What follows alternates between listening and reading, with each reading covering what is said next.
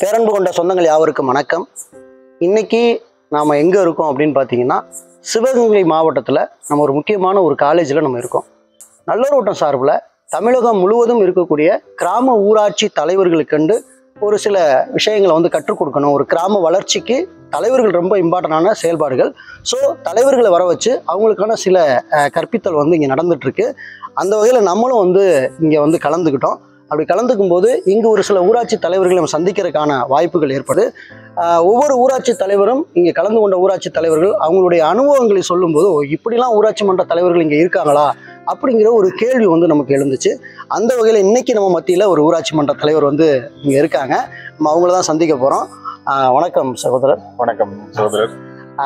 இப்போ வந்து நம்ம சேனல்ல நிறைய பேர் பார்த்தீங்கன்னா ஒரு ஊராட்சி மன்றம் அப்படின்னாவே ஒரு நெகட்டிவ் தாட்டில் நிறைய பேர் கமெண்ட் பதிவு பண்ணுவாங்க. ஒவ்வொரு ஊராட்சியிலையும் ரொம்ப மோசமான கட்டமைப்பு தான் இருக்கு. எங்க ஊராட்சி வந்து ரொம்ப பின்னோக்கி போகுது. ஊராட்சி மன்ற தலைவர்கள் வந்து சரியான செயல்பாடுகள் இல்லை.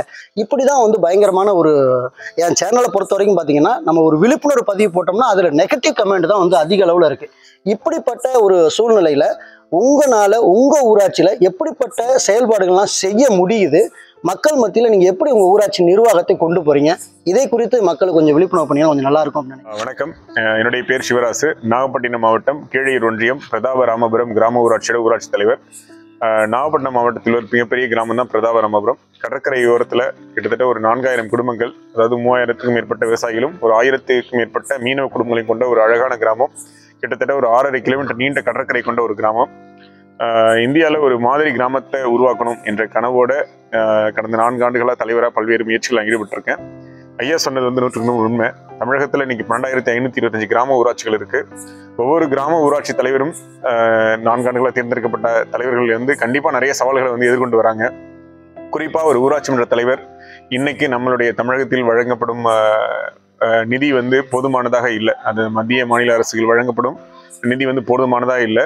ஸோ அந்த நிதியை கொண்டு ஒரு ஊராட்சியை வந்து சிறப்பாக கொண்டு போகிறது வந்து மிகப்பெரிய சவால். ஏன்னா ஒரு ஊராட்சியோட தே ஒவ்வொரு ஆண்டுகள் எஸ்எம்சி பார்த்தீங்கன்னா சில ஆயிரங்கள் இருக்குது பட் ஆனால் தேவைகள் ரொம்ப அதிகமாக இருக்குது குறிப்பாக கிராமப்புறங்களில் வந்து உட்கட்டமைப்பு மேம்பாடுக்கு மிகப்பெரிய நிதி தேவை இருக்குது ஸோ அது ஒரு ஒவ்வொரு தலைவருக்கும் மிகப்பெரிய சவால். அந்த சவால் எனக்கும் இருக்குது என்னோட கிராமங்களையும் அதிகப்படியான சாலை போன்ற உட்கட்டமைப்புகள் நிறைய இருக்குது இருந்தாலும் ஒரு ஊராட்சி மன்ற தலைவராக பல்வேறு பணிகளை நான் முன்னெடுத்து கொண்டு போயிட்டு இருக்கேன் ஸோ என்னுடைய கனவுங்கிறது வந்து ஒரு இந்தியாவின் மாதிரி கிராமம் என்னோட ஊர் இருக்கணும்.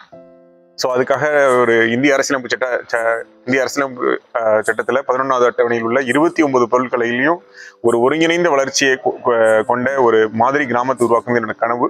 அதுக்காக இந்த பயணத்தை நான் தொடர்ந்து நடத்திட்டு வந்துட்டு இருக்கேன் நான் வந்து என்னை பற்றி நான் சொல்லணும்னு சொன்னால் நான் வந்து பார்த்தீங்கன்னா ஒரு எம்பிஏ பட்டதாரி. நான் எம்பிஏ முடித்தேன் எம்பிஏ முடிச்சுட்டு அதுக்கப்புறம் சென்னையில் ஒர்க் பண்ணேன். அதுக்கப்புறம் அப்புறம் ஒரு ஐந்து ஆண்டுகள்கிட்ட பணி செஞ்சேன். பணி செஞ்சுட்டு திரும்ப ஊருக்கு வந்து மக்களோட ஏற்பட்ட தொடர்பின் அடிப்படையில் தான் நான் வந்து ஊராட்சி மன்ற என் பயணத்தை தொடங்கினேன். ஒவ்வொரு இளைஞருக்கும் இந்த அரசியல் எப்படி இருக்கணும் அப்படின்னு ஒரு கனவு இருக்கும். அந்த கனவு எனக்கும் இருந்துச்சு. ஸோ அதன் அடிப்படையில் தே தேர்தலில் எவ்வித அரசியல் கட்சியோட பின்புலமும் இல்லாமல் மக்களை சந்தித்து வாக்கு கேட்டேன். ஒரு ரூபா கூட பணம் கொடுக்கல ஓட்டுக்காக. ரெண்டாவது விஷயம் எந்த சாராய பாட்டு நான் கொடுக்கல. ஸோ என்னோட எதிர்த்து பணம் எல்லாம் கொடுத்தாங்க. ஆனால் இதையெல்லாம் தாண்டி மக்கள் என் மீது நம்பிக்கை வச்சு எனக்கு வாக்களித்தாங்க என்னை பற்றி சொல்லணுங்கிறது முன்னாடி என்னுடைய குடும்பத்தை பற்றி சொல்லணும்னா என்னுடைய தாத்தா அப்பா பெரிய தாத்தா எல்லாருமே வந்து தொடர்ந்து ஊராட்சி மன்ற இருந்தவங்க. தாத்தா வந்து மது ஒழிப்புக்காக போராடி உயிரை விட்டவர். அவர் வந்து பார்த்தீங்கன்னா நைன்டீன் எயிட்டி செவனில் முன்னாள் பிரதமர் ராஜீவ்காந்தி அவரிடம் வந்து தேசிய விருது பெற்றவர். அப்பாவும் வந்து முன்னாள் குடியரசுத் தலைவர் அப்துல் கலாம் ஐயாட்ட விருது பெற்றவங்க. ஸோ அதை தொடர்ந்து காலமும் சூழ்நிலை என்னையும் வந்து இந்த ஊராட்சி மன்ற தலைவர் பதவி ஏற்க வந்துச்சு ஸோ நம்ம இந்த பதவி போங்கிறத விட ஒரு பொறுப்பு. இந்த பொறுப்பை நான் ஏற்றுட்டு பல்வேறு விஷயங்கள் செய்கிறேன் குறிப்பாக ஒரு கிராம ஊராட்சி அப்படின்னு சொன்னாலே பெரும்பாலும் வந்து எல்லாரும் என்ன ஃபோக்கஸ் பண்ணுவாங்கன்னா குடிநீர் தேவை சாலை. தெருவிளக்கு இதில் தான் ஃபோக்கஸ் பண்ணுவாங்க. பட் இது மட்டும் வளர்ச்சி கிடையாது. இதை தாண்டி வளர்ச்சிங்கிறது நிறைய விஷயம் இருக்கு. அதாவது குறிப்பாக அரசு கவனிக்காம விட்ட பக்கங்களை நம்ம வந்து கவனிக்கணும் அப்படின்னு சொல்லிட்டு குறிப்பாக கடைநிலை மக்களுக்காக நம்ம வேலை செய்யணும் அப்படின்னு சொல்லி இந்த பணியை நான் துவங்கினேன். ஓகே ரொம்ப சந்தோஷம் பிரதர். இப்போ இன்னொரு கேள்வி உங்கள்கிட்ட என்ன முன் வைக்கிறோம் அப்படின்னா இப்போ கிராம ஊராட்சியை பொறுத்த வரைக்கும் பார்த்தீங்கன்னா கிராம சபை தான் டென்டிங் ஒரு கிராம ஊராட்சி கிராம சபை மட்டும்தான் நடத்த முடியுமா? இந்த கிராம சபை அல்லாமல் வேறு சபைகள் எதுவும் நடத்துறதுக்கான வாய்ப்புகள் இருக்கா? நீங்கள் அது மாதிரி ஏதாவது நடத்தி உங்களுக்கு அனுபவங்கள் ஏதாவது இருக்கா? அதை பற்றி சகோதரர் சொன்னது உண்மை. கிராம சபை என்பது ஒரு மிக முக்கியமான ஒன்று கிராம ஊராட்சிகளில் மிக முக்கியமான ஒரு அங்கம் வந்து கிராம சபை. கண்டிப்பாக அந்த கிரா ஒரு கிராம ஊராட்சியோட இயக்கமே அந்த கிராம சபையில தான் துவங்குது அப்படிங்கிறத நான் உறுதியாக நம்புகிறேன் ஸோ வருஷத்துக்கு ஆறு முறை கிராம சபை நடத்தின அரசு சொல்லுது. அதை நாங்களும் நடத்துகிறோம் பட் எங்களை பொறுத்த வரைக்கும் அரசு கவனிக்க தவறிய பக்கங்களையும் ஒரு ஊராட்சி பார்க்கணும் அப்படிங்கிற ஒரு நோக்குல கிராம சபையை வேற வேற பரிணாமங்களை நடத்தணும்.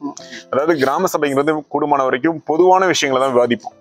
அதை விட இன்னும் நம்ம அடுத்த கட்டத்துக்கு என்ன போகலாம் அப்படின்னு சொல்லிட்டு குறிப்பா எளிய மக்களுக்கு நம்ம கவனிக்க கவனம் செலுத்தணும் அப்படின்னு சொல்லிட்டு மாற்றுத்திறனாளிகள் சபைன்னு ஒன்று நடத்தணும். குறிப்பா மாற்றுத்திறனாளிகள் நலன் அவங்களோட உரிமைகளை பெறுவது அவங்களோட அவங்களோட வாழ்வாதாரத்தை மேம்படுத்துவதற்காக அவங்களுக்குன்னு ஒரு தனி சபையை நடத்தணும். அதுபோல் மகளிர் சபை. அதாவது பெண்கள் தங்களோட தேவைகளையும் தங்கள் உரிமைகளை தெரிந்து கொள்வதற்கும் ஒரு சபை தேவைப்பட்டுச்சு. ஸோ அவங்க அவங்களே அவங்களுக்காக ஒரு சபையை உருவாக்கி கொடுத்தோம். இதெல்லாம் நாங்கள் உருவா உருவாக்கிய களங்கள். அதுபோல குழந்தைகள். இன்னைக்கு வளரும் சமுதாயத்தை நல்ல சமுதாயத்தை வளர்த்திருக்க வேண்டியது ஒரு ஒவ்வொரு அரசின் பொறுப்பு. அதுல இன்னும் நாம அரசு இன்னும் கூடுதல் கவனம் செலுத்தணும். அதுக்காக பாலர் சபைன்னு ஒரு அமைப்பு உருவாக்கணும். அது தேர்தல் நடத்தி ஒரு ஊராட்சி பிரதிநிதி போல பாலர் சபை பிரதிநிதிகள் உருவாக்கி அவர்கள் முன்னிலையும் பாலர் சபை நடத்தணும். அதுபோல் வார்டு அதாவது நாங்கள் வந்து கிராம ஊராட்சி வளர்ச்சி திட்டம் தயாரிக்கிறோம். ஸோ ஒரு ஐந்தாண்டு திட்டத்தை நாங்கள் தயாரிச்சிருக்கோம். விரைவில் வந்து ஒரு ஒரு ஒரு ஒரு முழுமையான திட்டம் ஒரு ஊராட்சிக்கு முதல் முறையாக தமிழகத்தில் நாங்கள் வெளியிட போகிறோம் ஒரு கிட்டத்தட்ட ஒரு இரநூறு பக்கங்களில் அதுக்காக பல்வேறு பணிகளை மேற்கொண்டு அந்த திட்டத்தை வந்து கிட்டத்தட்ட ஓராண்டுகளுக்கு மேலே ச- நிறைய நண்பர்களோட சேர்ந்து தயாரிச்சிருக்கோம். அதை விரைவில் வெளியிட போகிறோம் ஸோ அதுக்காக என்ன பண்ணணும் நாங்கள் மக்களோட கருத்துக்கள் உள்வாங்கி தான் திட்டம் தயாரிக்கணும். திட்டம்ங்கிறது ஒரு ஒரு அலுவலகத்தில் உட்காந்து தலைவரும் துணைத் தலைவர் உறுப்பினர்கள் மட்டும் உட்காந்து உரு உருவாக்கக்கூடிய ஒரு திட்டமா இருக்கக்கூடாது. அது அங்க இருக்க வாழ்ற மக்கள் அந்தந்த பகுதியில போய் அவங்க சந்திச்சு அவங்களோட நீட்ஸ் என்னன்னு நம்ம தெரிஞ்சுக்கிட்டு அதன் அதன் அடிப்படையில் உருவாக்கணும் நோக்கில் கிராம ஊராட்சி வளர்ச்சி திட்டம் ஒன்று தயாரிச்சிருக்கோம். ஸோ அதற்கு பல்வேறு பணிகளை செஞ்சு குறிப்பாக அதில் வாட்ஸ்அப்பானு ஒன்று நடத்தணும். அதாவது இப்போ கிராம சபாங்கிறது ஒட்டுமொத்த ஊர் வந்து ஒரு இடத்துல உட்காரணும்.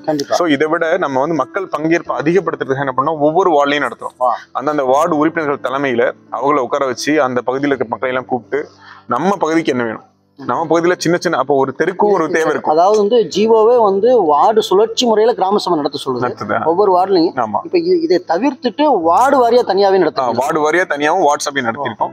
தொடர்ந்து அதை சபை கூட்டம் இல்லாம. கிராம சபை கூட்டம் இல்லாம வாட்ஸ்அப்பையும் வார்டு நடத்துறோம். சொல்லி ஸோ இதுல கலெக்டிவா கிடைக்கிற இன்ஃபர்மேஷன் வச்சு தான் நாங்க என்ன பண்ணிருக்கோம்னா வார்டு சபையில என்ன பண்றீங்க? கிராம சபைக்கும் வார்டு சபைக்கும் என்ன டிஃபரெண்ட் ஒரு கிராம சபைங்கிறது ஒட்டுமொத்தமா நம்ம கிராமத்துக்கான டிஸ்கஷன் இருக்கும். அதுல எல்லா பகுதியிலேருந்தும் பார்ட்டிசிபென்ட்ஸ் இருப்பாங்க. பட் வார்டு சபைங்கிறது அங்க இருக்க வார்டு உறுப்பினர்களுக்கும் ஒரு பிரதிநிதித்துவத்தை ஏற்படுத்தணும். அவங்களும் அதுல அதிகமான ஈடுபாடு ஏற்படுத்தணும். ஏன்னா அவங்களும் அதுல இருக்கணுங்கிறதுக்காக அவங்களோட அவங்களோட தலைமையில தான் நடக்கும்.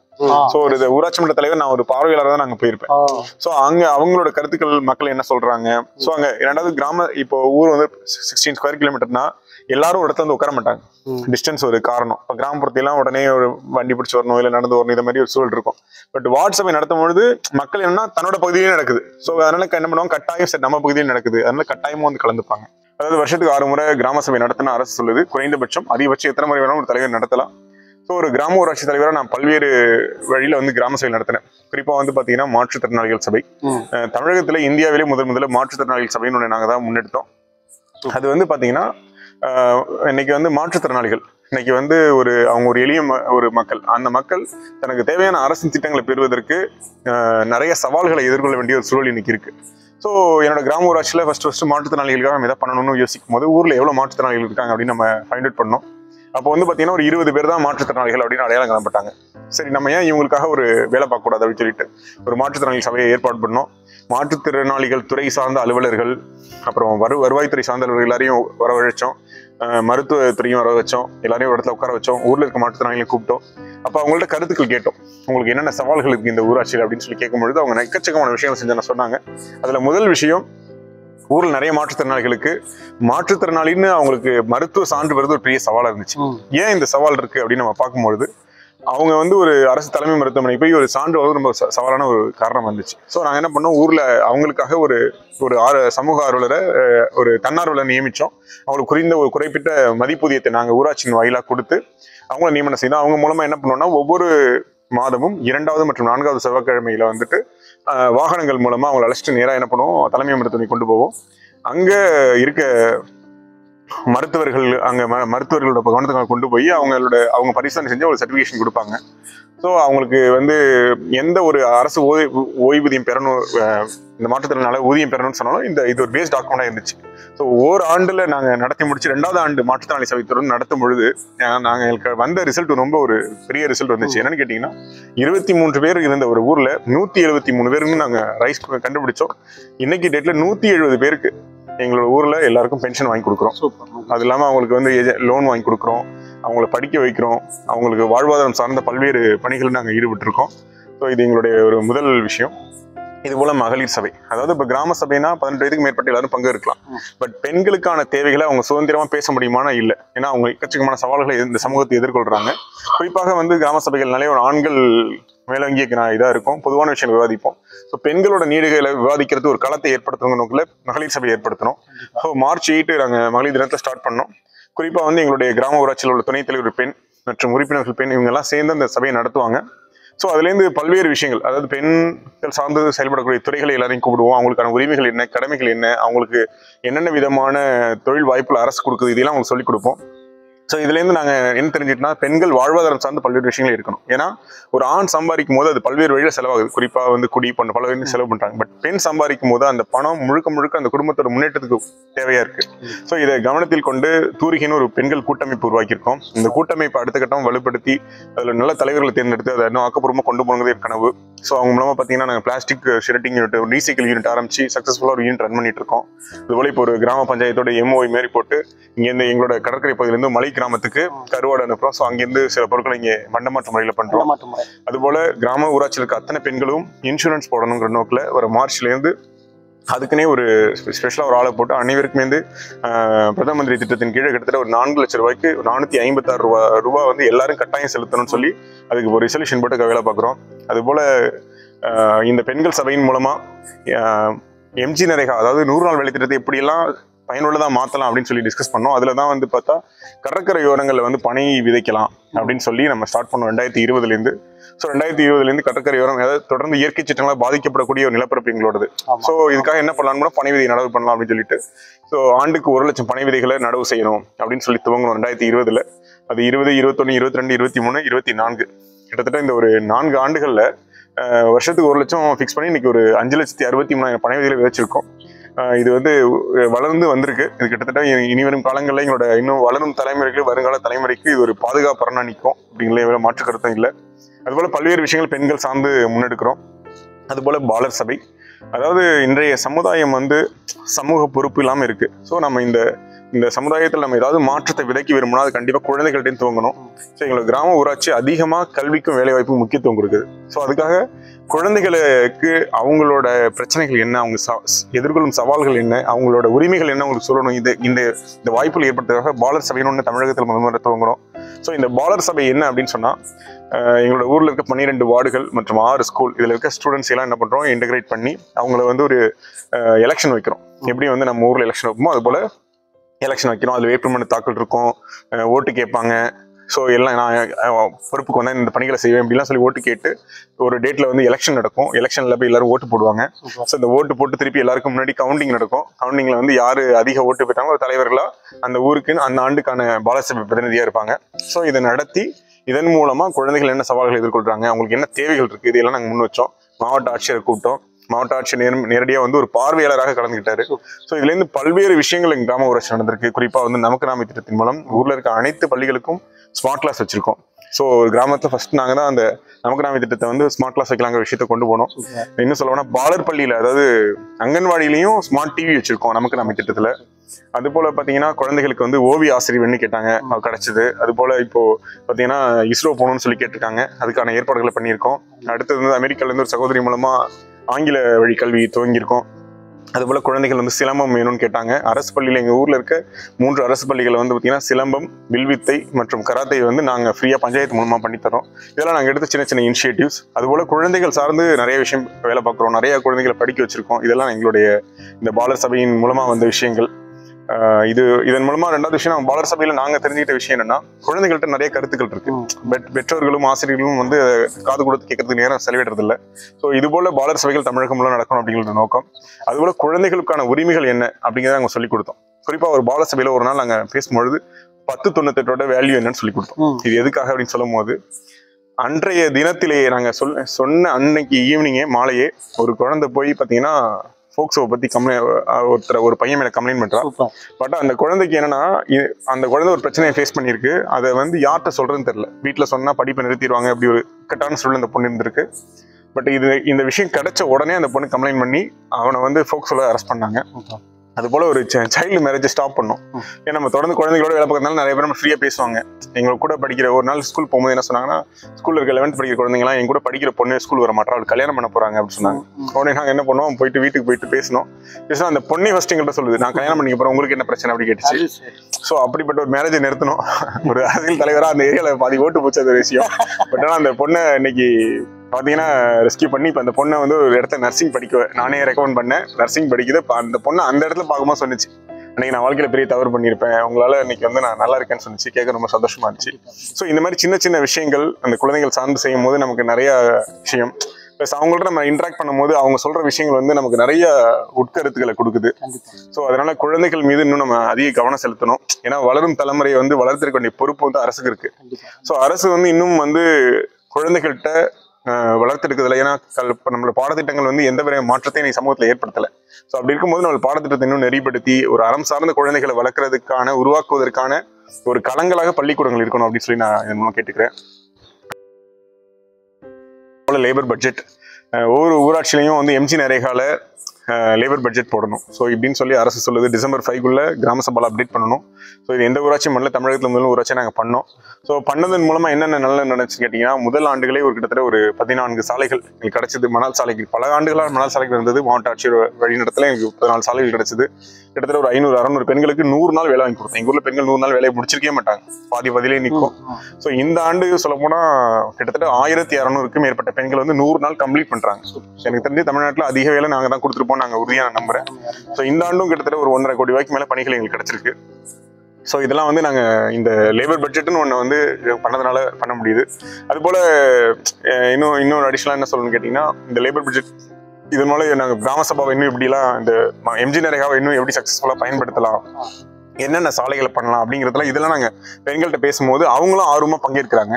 ரெண்டாவது எல்லா ஊர்லேயும் பார்த்தா இந்த எம்ஜி நரேகா ஒர்க் வந்து கான்ட்ராக்டர்ஸ் தான் செய்வாங்க. ஸோ மக்களுக்கு வந்து வேலை கொடுக்க மாட்டாங்க. என்ன செய்வாங்கன்னா அந்த மேண்டேட்ஸ்குள்ள காஸ்ட் அவங்க ஏதாவது ஒரு காலை போ காடை போட்டு எடுத்துப்பாங்க. பட் என் ஊரில் சொல்ல நம்ப மாட்டீங்க. பெண்களுக்கு அந்த சாலைகள் எப்படி போட்டு பயிற்சி கொடுத்தோம். சூப்பர். WPF ரோட எல்லாம் பாத்தீங்கன்னா எங்க ஊர் பெண்களே ஒரு ஒரு இத்தனை மீட்டருக்கு இத்தனை யூனிட் ஜல்லி வச்சிரும் அதை இப்படி பரத்தணும் அப்படின்னு நான் சொல்லி கொடுத்தோம். கிட்டத்தட்ட ஒரு இருநூத்தி இருபதுக்கு மேற்பட்ட பெண்கள் வந்து எங்க ஊர்ல பயிற்சி எடுத்து கிட்டத்தட்ட பதினாலு சாலைகள் போட்டிருக்காங்க. இது என் ஊர்ல தான். எம்ஜிஎன்ஆர்ஜிஎஸ்ல. இதை நாங்க சக்சஸ்ஃபுல்லா பண்ணோம். ஆக்சுவலா இது யாரும் பண்ண முடியாதுன்னு சொல்லுவாங்க.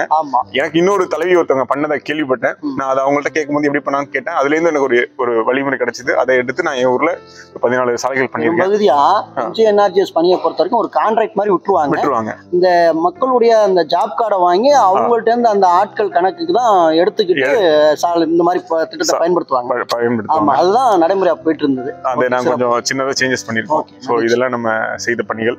இதை தாண்டி வந்து பார்த்தீங்கன்னா கொரோனா காலகட்டத்தில் நிறைய பேருக்கு வந்து வேலை வாய்ப்பு இல்லாமல் இருந்துச்சு. ஸோ அப்போ வந்து என் ஊரில் வந்து ஏன் வந்து அப்போ வந்து என்ன பண்ணலாம்னு யோசிச்சோம்? அப்போ வந்து பார்த்தீங்கன்னா எங்கள் ஊர் வந்து நல்ல பெரிய ஊர். ஒரு பதினாறு ஸ்கொயர் கிலோமீட்டர்ல பெரிய ஊர்.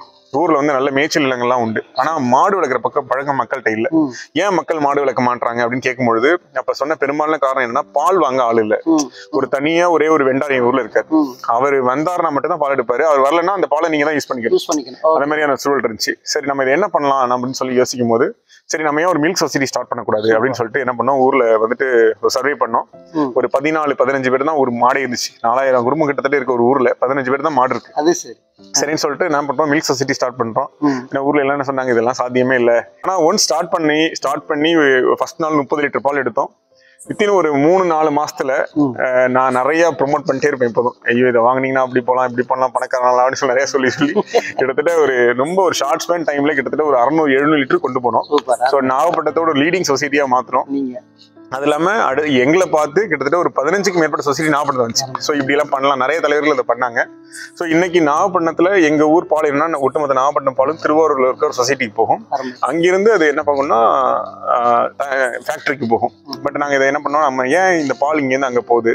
அங்க போகும்போது என்ன ஆகுதுன்னா தினைக்கும் இங்க பால் கறக்கணும் அஞ்சு மணிக்கெல்லாம் கறக்கணும். ஏன்னா இங்கேருந்து டிரான்ஸ்போர்ட் இருக்கு. ஸோ இதை பத்தி நம்ம போய் மாவட்ட ஆட்சியர் சொன்னோம். மாவட்ட ஆட்சி என்ன பண்ணலாங்க நான் சொன்னேன் பல்க் மில்க் சில்லிங் போடலாம். மொத்த குளிர். குளிரூட்டம் கறி போடலாம்னு சொல்லிட்டு ஒன்று உடனே எங்க ஊர்லயே ஒரு ஐயாயிரம் லிட்டர் டேங்க் போட்டோம்.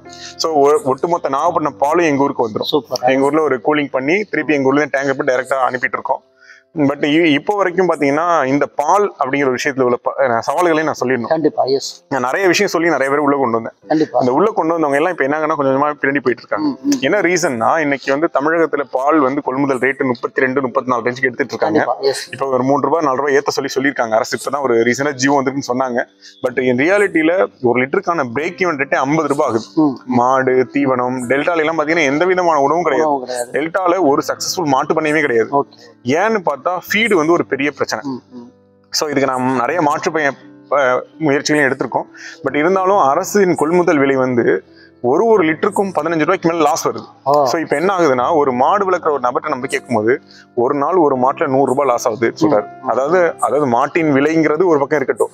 ஆப்ரேஷனல் காஸ்ட்ல ஒரு நாளைக்கு நூறு ரூபாய் லாஸ் ஆகுதுன்னு சொல்றாரு. ஸோ பத்து மாடு ஒருத்தர் வளர்த்தாருன்னா ஒரு நாளைக்கு ஆயிரம் ரூபாய் மாசம் முப்பதாயிரம் ரூபாய் லாஸ் ஆகுறாரு. ஸோ இது ஒரு மிகப்பெரிய ஒரு சவாலா இன்னைக்கு இருக்கு இன்னைக்கு அந்த இந்த பால் பண்ணையை அரசிட்ட கொடுக்கும்போது அதாவது கூட்டுறவு சொசைட்டி மூலமா ஆவின் கொடுக்கும்போது விவசாயிகள் முழுக்க முழுக்க நஷ்டத்தை அனுபவிச்சுட்டு இருக்காங்க.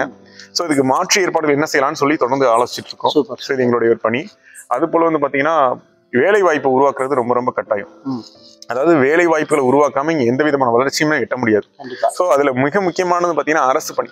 ஒரு குடும்பத்துல ஒருத்தருக்கு அரசு பணி கிடைச்சிட்டா அந்த தலைமுறையே மாறும். அதை நாங்க உறுதியா நம்புறோம். எங்க ஊர்ல என்னன்னா ரெண்டாயிரத்தி இருபதுலயே வந்து பாத்தீங்கன்னா ஒரு டிஎன்பிசி ட்ரைனிங் இன்ஸ்டியூட் ஸ்டார்ட் பண்ணோம் பிரதாபராமபுரம் இலவச திறன் மேம்பாட்டு மையம் அப்படின்னு சொல்லிட்டு. ஸோ ஸ்டார்ட் பண்ணி போலீஸ்க்கு நம்ம வந்துட்டு சீருடை பணியாளர் தேர்வுக்கு பயிற்சி வச்சோம்.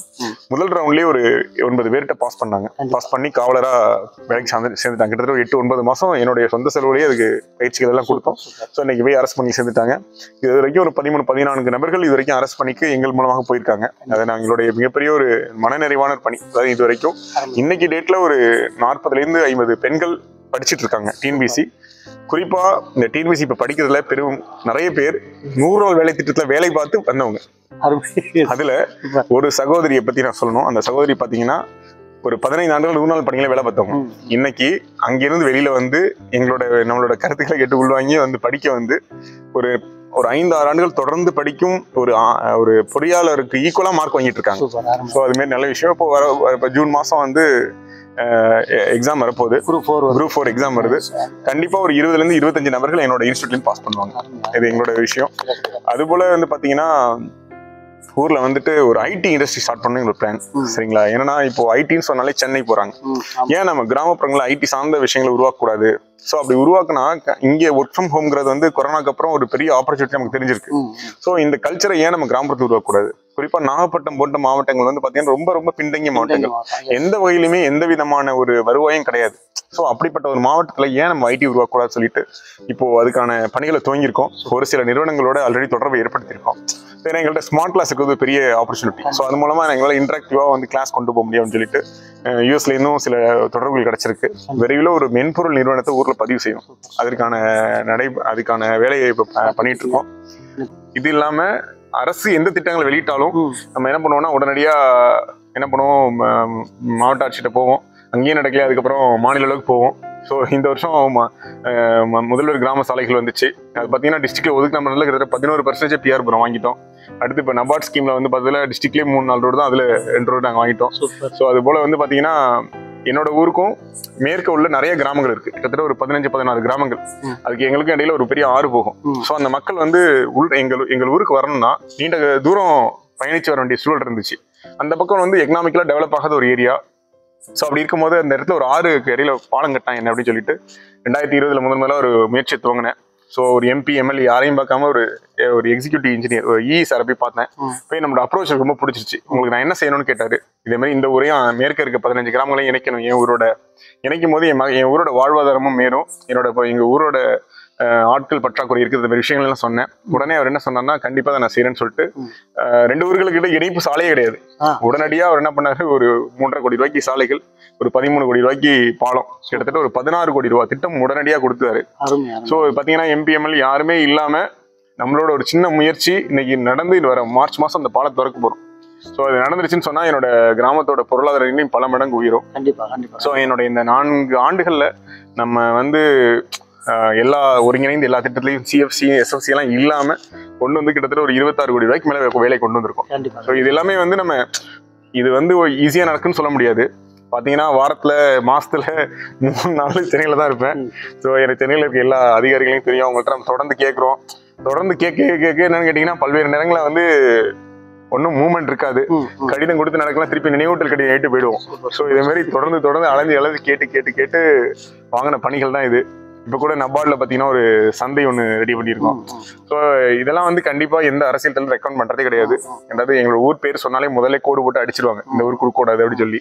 ஆனா இதெல்லாம் தாண்டி அரசு அலுவலர்கள் நல்ல நிறைய நல்ல நண்பர்களோட உதவியால மட்டும்தான் இது சாத்தியமாகுது. ஸோ இது நாள் வரைக்குமே நம்ம இப்படிதான் நம்ம கொண்டு வந்திருக்கோம். ஸோ இது என்ன மாதிரி? கண்டிப்பா நான் வந்து இது சரின்னு சொல்ல மாட்டேன். அதாவது இந்த கான்ஸ்டியூஷன் வந்து ஒரு பிரசிடென்ட்டை செலக்ட் பண்ணி உட்கார வச்சு. அவன்கிட்ட எந்த பொறுப்புமே கொடுக்காம தனக்கு வாக்கு- வாக்களிச்ச மக்களுக்கு அவன் செய்ய முடியாத ஒரு ஒரு சூழலுக்கு இந்த அரசு தள்ளி வச்சிருக்கு. ஸோ அரசியல் கட்சி பிரமுகர்கள் தான் செய்ய முடியும் அப்படின்னு ஒரு சூழல் வந்துச்சுன்னா அப்ப இந்த உள்ளாட்சிங்கிற ஒரு அமைப்பே தேவையில்லை. ஸோ ஒரு ஊராட்சி மன்ற தலைவர் தனக்கான அதிகாரத்துல கேட்டு ஒரு கடிதம் எழுதி வாங்கக்கூடிய சூழலை இல்லை. ஏன்னா நான் இது வரைக்கும் எழுதின கடிதங்கள் சில ஆயிரங்களை தாண்டும். அவ்வளோ கடிதங்கள் எழுதியிருக்கேன் அவ்வளோ முறை பார்த்துருக்கேன். அஹ் என்னோட என்னோட நெடுநேரங்கள் பார்த்தீங்கன்னா பயணங்கள்ல தான் இருக்கும். ஸோ இவ்வளோ போராட்டங்களுக்கு தான் பெற வேண்டிய சூழல் இருக்கு. ஸோ இது இதை நான் நான் என்னால் ட்ராவல் பண்ண முடியும் நான் ட்ராவல் பண்ணுறேன் இன்னைக்கு தமிழ்நாட்டில் பார்த்தீங்கன்னா ஐம்பது சதவீதத்துக்கு மேலே பெண்கள் தான் இருக்காங்க. அந்த பெண் தலைவர்கள் வந்து சரியா மதிக்கப்படுறாங்களான்னா கேட்டா இல்ல. அதுலயும் பாத்தீங்கன்னா ஆண்கள் தலையீடு அதையும் தாண்டி பெண்கள் வெளில வராங்கன்னா அவங்க வந்து ஒரு விஷயத்த வந்து போனா அவங்க அதிகம் உதாசீனப்படுத்துறது. நிறைய அரசு அலுவலர்கள் வந்து தலைவர்களை பேசுற விதமே ரொம்ப. வருத்தத்துக்குரியதா இருக்கு. ஸோ இன்னைக்கு இந்த கிராஸ் ரூட்டும் இந்த லோக்கல் கவர்மெண்ட்டை பத்தி பேசக்கூடிய இவர்களோட பிரச்சனைகளை பத்தி பேசுறது யாருமே இல்லை. ஆனா எல்லாரும் ஒட்டுமொத்தமா என்ன சொல்லிடுவோம்? எடுத்தோடனே தலைவர்களா. அவர்கள் திருடர்களா? அவங்க என்ன செய்வாங்க. சோ அவன் தலைவர் என்ன பண்றானே தெரியல. சோ இப்படிலாம் சொல்லும் போது நமக்கே வேதனையா இருக்கும். அவங்க பிரச்சனை என்னன்னு ஒரு தலைவரா நானும் உணர்றேன். கண்டிப்பா. ஸோ அதனால தமிழ்நாட்டுல இன்னைக்கு நீங்க சொல்ற மாதிரி எல்லாமே கொண்டு வரது ரொம்ப ரொம்ப ரொம்ப கஷ்டம். ஏன்னா நம்ம ஒண்ணு ஒரு கட்சியின் பிரமுகரா யாரோ ஒருத்தருக்கு பின்னாடி நின்றுட்டு இருந்தோம்னு சொன்னா கண்டிப்பா கொண்டு வந்துடலாம். கண்டிப்பா எஸ் பட் அதுவுமே பாத்தீங்கன்னா இன்னும் இன்னைக்கு டேட்ல பார்ட்டியில இருக்க பிரசிடென்சியே பாத்தீங்கன்னா புலம்பிட்டு தான் இருக்காங்க. என்ன ஒண்ணும் செய்ய முடியல அப்படின்னு சொல்லிட்டு. ஸோ அதனால இது மிகப்பெரிய போராட்டம் தான். ஸோ கண்டிப்பா எல்லா தலைவருக்கும் இருக்கு. அதே சவால் எனக்கும் இருக்கு. வந்து நான் கவனிச்சேன் நீங்க பேசும்போது கிராம சபையில வந்து நீங்க கேள்விகளை கேளுங்க. கிராம சபையில வந்து மக்களுக்கு வந்து நூ உங்களுக்கு பதினஞ்சு அதாவது நூறு நாள் வேலை திட்டத்துல பதினஞ்சு நாள் உங்களுக்கு வேலை இல்லையா? பதினாறாவது நாள் நீங்க ஃபோன் அடிச்சு சொல்லுங்க. அப்படின்னு புகார் என்னெல்லாம் நீங்க கொடுக்குறோம் அப்படின்னு சொல்றாங்க சொல்றீங்க. கிராம சபை கூட்டத்துல கேள்வி கேட்டாலே வந்து அடிக்கிற ஊராட்சி மன்ற தலைவர் ஆள் வச்சு அடிக்கிற ஊராட்சி மன்ற தலைவர்கள் மத்தியில நீங்க கிராம சபை கூட்டத்துல கேள்வி கேளுங்க ஊராட்சி வளரும் அப்படின்னு சொல்றீங்களே இந்த கேள்வி கேட்கறதால எப்படி ஊராட்சி வளரும்? ஊராட்சி வளருங்கிறது மேல நானும் வளருவேன். சரிங்களா? நானும் நிறைய சிந்திப்பேன் இன்னும் நானும் நிறைய வேலை பார்ப்பேன்.